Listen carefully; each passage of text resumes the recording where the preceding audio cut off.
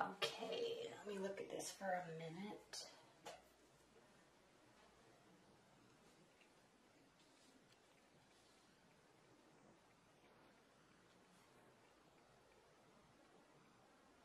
Okay. Coming from the recent past, and when I talk this this set of readings, when I talk about the recent past, I'm talking about the last few months when Venus was retrograde, because we had the Pisces eclipse at the end of February, which spoke to new beginnings, and then right after that, Venus went retrograde, and it was retrograde in your sign, and then went to Aries, and then back to Pisces, and so it was extremely emotional for a lot of people, a lot of introspection, a lot of retrospection, and trying to figure out where the emotions were eh, with respect to anything in your life. But since we're talking about your love life here, you were trying to figure out where the emotions stood. Now, the reason why I'm even talking about that, Pisces, is because Venus is no longer retrograde, it's direct, but there's still three planets retrograde Saturn, Jupiter, and Mercury, which still speaks to confusion and introspection. And then Pluto is going retrograde. So this, and I'm, I'm filming this at the end of April, so this is all happening right now. So there's still a lot of intensity around emotions and what's happening, specifically in love. And the reason why I'm talking about that is because we have, in your recent past, the Five of Wands reversed. And this speaks to a, a lessening of intense activities and intense communications that were frustrating, but on a, on a good level. So it's as if there were communications that were not so sarcastic and not so emotional. But there was still this sense, this underlying sense of pushing and pulling of who's going to really kind of win this or who, you know, it's fun and flirty, but there's a sarcastic undertone there when this card's upright. When this card's upright. But since it's reversed, that, that's gone, that's lessened. So either there's not been activity or or you've been wanting it or the interaction has just been kind of there but not necessarily good or bad. So it's it's kind of a stable place where things started to warm up. Now the reason why I'm saying that is because your primary card for the your love life in May is the Queen of Cups and this is you this speaks to, or, or you may have a watery energy in your love life. So there's somebody, Pisces, Cancer, Scorpio, or heavy water energies in their rising sign, moon sign, Venus sign that speaks very heavily to how they interact with people in love. A very emotionally charismatic personality. So uh, another term for that can be drama queen, but I don't think it needs to have any sort of negative connotation because that's a very beautiful energy, whether it's you or your partner. That's a very beautiful energy because to be so in tune and warm and kind and helpful and generous with emotions, that speaks to somebody that genuinely has has genuine feelings and care and cares about you or cares about the situation or the outcome. And what's crossing this energy is you, Pisces, the Hanged Man. This is the Pisces card, or one of them. And this is a card of trials overcome, getting through something. But after a time of introspection and looking for guidance or some sort of internal insight through your gut mechanism, your, your the compass of your soul. So taking a pause in a scenario before jumping to conclusions, things are kind of on a stable ground. There is emotion, but taking a pause to make sure within yourself that this is something that you or they or wanting to work through. Because ultimately, this card means trials overcome. So, this is a beautiful energy to start your May off with. Now, what's grounding your love life in May is the Seven of Pentacles reversed. And this speaks to not putting forth or not wanting to put forth a lot of effort into making something grow, making something develop with respect to love. And in tarot, where there's card, the cards go from one to ten, and then you have the court cards. And there's one is a beginning, an ace, and then the ten is the ultimate level, the highest point, the highest level of success, material gains, the highest level of love we see in the Ten of Cups, the highest level of activity, which we see in the Ten of Wands, and the highest level of pain and and feeling and thought, which we see in the Ten of Swords. So the reason why I'm saying that is because along that way, along that path, there's hiccup points. And those hiccup points tend to be in the numbers 3, 5, and 7. Now, the beauty with the seventh card of any of these of any of these suits really is that you're so close to the end that even though it's a hiccup, you're still progressing because you want to get to the end because you're seeing the end point. It's in sight. And so even though when this card's upright, even though he's tired and he's sick of working on it and it's not growing fast enough, even though there's those feelings, he's still pushing through to the end because the end is in sight. And the Ten of Pentacles is a beautiful ending. It's a card of success and money and material wealth. So with this being reversed with respect to your love life, Pisces, this means that you, one, may not fully see the end in sight, or maybe you don't want to look down that pathway. So there's this kind of ignoring that those next steps or not wanting to go to those next steps, but also just wanting to stay in this place with your love life or with somebody that and hoping that it doesn't require a lot more work because ultimately you're kind of getting tired and you're wanting to take a pause while you sift through the emotions. Because things may have been frustrating, but now they're not. So there's a little confusion there in a good way but it's impacting you because what's crowning your May is the Strength card reversed. So this speaks to insecurity. Insecurity about your partner. Maybe your partner's insecure. Maybe that's uh, impacting the relationship. Maybe there's a pause because you need to you're wanting your partner to figure out their life, or maybe there's a pause because you want to step back and figure and get back to your core base levels after this emotional time we've had. And so there's this pause and this acknowledgement of the good place, but it probably could be easier. So let's just see if it can be.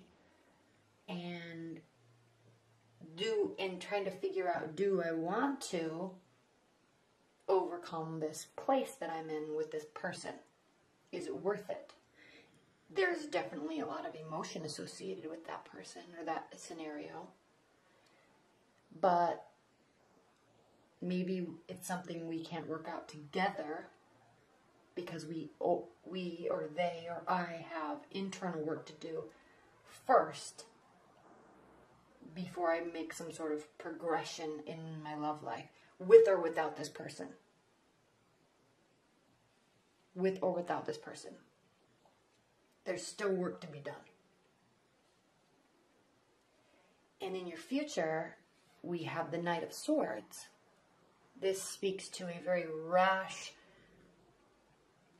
unthought out action that can be cutting in a way. It can be it can be a disastrous energy because it's coming in with uh, possibly a good intention, but the complete wrong, completely wrong approach or they'll receive it as the completely wrong approach, and it may not at all be what the actual intention was. And it's because this Knight of Swords, which is an air energy, but I'm not saying that this means that your partner is an air energy or that you're taking on an air energy. But what I'm speaking to is that it's emotionally driven and it has caused this emotion and this pause has fueled emotions, possibly fueled insecurity, and it's causing something to take place where there is a where there is an approach that's not fully thought out and not clear in what the intention actually was. So it can be a little fearful for the recipient of that. But the intention is always good. I mean, he sees he's ready for battle and he sees this house burning down, i.e., a relationship, and he says, he or she says, I have to take matters into my own hand and fix this. I'm, I, I can't wait any longer because if I wait, they might be gone, or this fight might get worse, or this wedge might get bigger, or they might get angrier, or or something. So I have to take action right now. I have to do what I have to do, no matter what.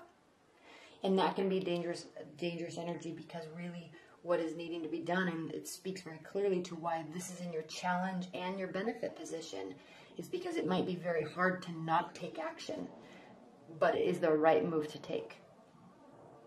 Pause. It's hard to pause when you really want to take action, but it is the correct approach. How you're feeling about your partner or love interest or love life is the Ace of Cups. So there's emotion. There's a lot of emotion behind what you are feeling and or doing. And this if this is you that's being insecure, and I'm not saying that it is, it could be your partner, but if this is you that's being insecure, Pisces, it's because there is a lot of emotion behind and there's a lot of hope for a new beginning. There's a lot of hope that it won't be so hard anymore. And what can I do to come and fix it? But just pause, pause, pause, pause, pause. And if your partner is doing this, tell them to pause. Let's take some time. And time can mean a few days, it can mean a few weeks, it can mean a few, you know, a month, two months pause, focus on ourselves. Because I believe in my love, I believe in us, I believe in you, and we are good. But we can't be rash about how we're trying to fix things because fixing things is it takes effort and I don't know that we're in a place to take to make that effort right now.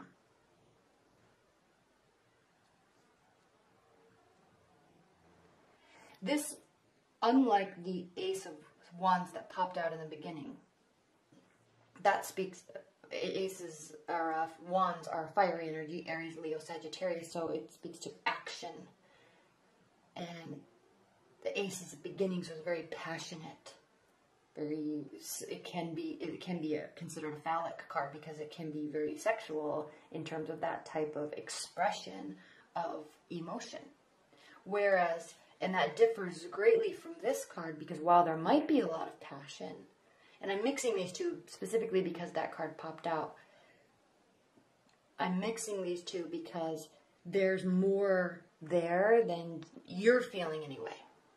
That there's more emotion there than just passion. There is em- deep emotions. There is caring there's gratitude. There are deep feelings there. Now, how your partner is feeling about the situation, or you, or how your outside world is viewing your love life, is the Five of Cups. And they're viewing this as something that has a negative connotation to it. They're, or they're just focusing on the negative aspects when in reality there's beautiful, there's a beautiful future, there's a beautiful outcome, and it's right there. They just are choosing to focus on the wrong side of it. And it's very interesting because this card is, is very promising because in traditional Rider Waite, there's three cups that are over, that are spelled and two that are upright. But I love this deck because there's only two that are spelled, really indicating that the bad stuff really wasn't that bad at all. And it just was your or their perspective that it was so negative. So it really wasn't that bad. And there's three full cups. Cups represent the chalice is holds water, which represents emotions, and that speaks to water signs. And there's three. And not only are there three, but there's a promise of of more emotion, more feelings, if this person just chooses to turn around and look at the positive side and walk through this door to this sunny place, this place of happiness. There's more. There's growth and there's more emotions where that where that is. So can you see the dichotomy here, Pisces, and how differently you are both viewing the relationship? And yet there's still this sense of urgency because there's still this faith and hope that there may actually really be something good there. You know, they really aren't sure, and it's by their own doing. And I like these placements because they're actually both while they're focusing on the the complete opposite things, they're both leaning in towards each other as if there's this some sort of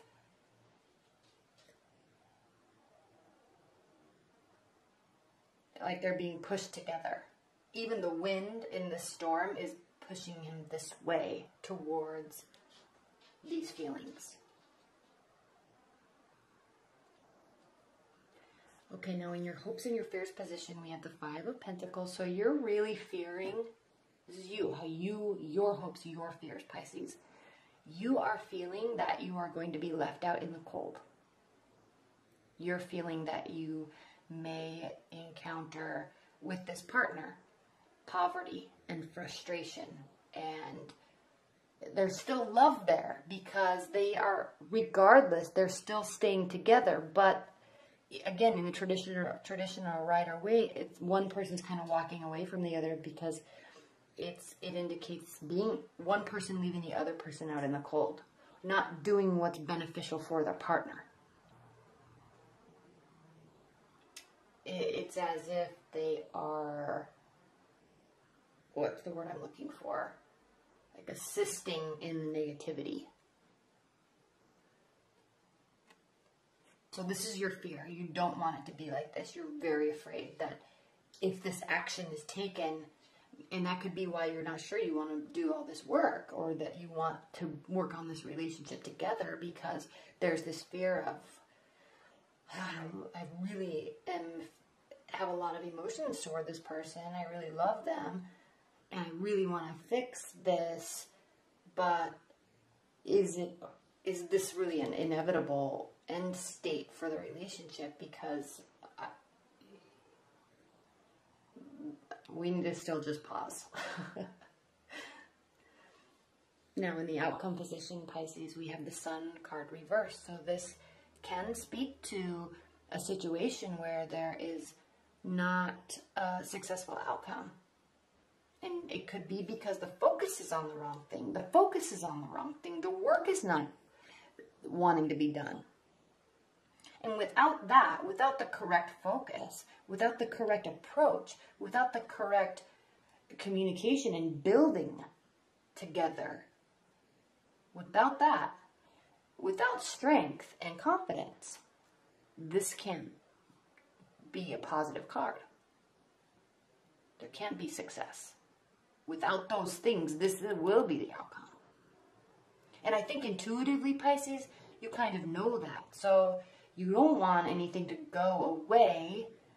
There's a lot of emotions there, but you really need to watch your approach and you really need to realize, they may too, that the actual work needs to be done on the relationship and on each each other independently. Because there's a confidence issue. There's an insecurity issue here in this relationship. It's crowning the whole relationship, the whole reading. And this lack of willingness to put work in the right type of work, because this is the wrong type of work. The right type of work doesn't serve any purpose. It will lead to an unsuccessful outcome. Okay, what are the additional messages for Pisces with respect to this love reading for May? Additional messages for Pisces. I want to say one more thing. Well, let me pull these first. Additional messages for Pisces.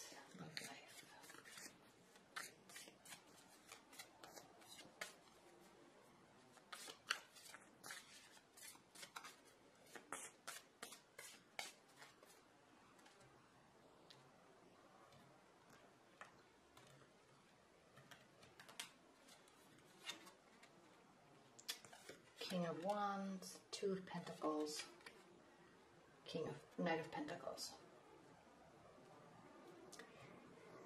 Again with earthly energies and work and building, and then again the there's fiery energy. So first, before I talk about these cards, I'm going to talk about the I talked about the retrogrades that we're having right now, and then what's been very interesting for a lot of people is the on April 11th, 10th, I can't remember the day. There was a full moon in Libra. And that was it. Very important, monumental full moon. And I know it feels like every full moon is monumental and every retrograde is monumental, but this was an interesting one because of all the emotions, because of all the sense of wanting to move forward, but all the emotions holding us back this Libra full moon caused the purpose of this full moon, emotionally, energetically, was to cause people, us, to look at our interactions and look at our relationships and build up a self valuation of who we are, what we want, standing up for ourselves, building confidence, and not accepting behavior in our lives that didn't really meld with who we believe we are. But the most the more important part of that is the self-valuation. I have people around me that I don't like or I don't like how they're reacting to me or interacting with me. But I'm I can't project this full moon was about you realizing and everybody realizing that that can't be a, it's not their fault. They may be acting inappropriately, but they're definitely responding to me and my interactions with them. They're responding to my projections. They are responding in a positive or negative way to the vibrations and energy or personality, however you want to view it, that I'm emitting. So the only way to change anything in my life to something better than what it is, because I feel I deserve better, is to change myself. How do I communicate that's causing these interactions? How do I approach somebody that's causing these interactions? How do I direct and lead and guide and ask for things? Because it is in my approach that's getting these reactions. So that's what that full moon was about. And that's interesting because this reading is clearly stating in your love life that there's still that introspection going on. And you're still trying to figure out. And it doesn't have, really have anything to do with anybody else. It doesn't really have anything to do with this relationship because they may be pulling away because you're pushing in the wrong approach. You may be pulling away because they're pushing in the wrong approach. You may be insecure because you know really deep down that they might be hurt and you're not putting the work in or or you or they may have a very negative view of something So, but it comes down to you because you're the only one you can control and, and guide. So, wow, this is getting long. I apologize. Uh, these three cards, Two of Pentacles, you're weighing options. Where do I want to put my effort in? Because the Pentacles, effort, tangible, building, growth. Where I have options, where do I want to put the energy into? How do I want to put the energy in? Now, this Knight of Wands, again, you very well could be dealing with the air sign, not Knight King. And it's a very confident, positive, optimistic person that has no fear of putting forth any amount of work into something. So they see the positive side of, I want to be here, then we have to put the work in. And I, I, I want to be with somebody who is going to want to put the work in. And and because I'm willing to do it and I'm willing to go above and beyond. So very positive, optimistic, looking at the brighter side. And then we have the Knight of Pentacles, which is a very slow approach. Very slow approach, but always progressing forward, but slowly, methodically, and it's very calculated and practiced and learned and well read and well researched. And so it's there there could be two people in your life you're juggling. There could be or trying to figure out. One's definitely standing higher and more prominent in your mind than the other one, but you're not sure you may be not sure which approach to take or you may be not sure which person to choose because they, they take very different approaches to life.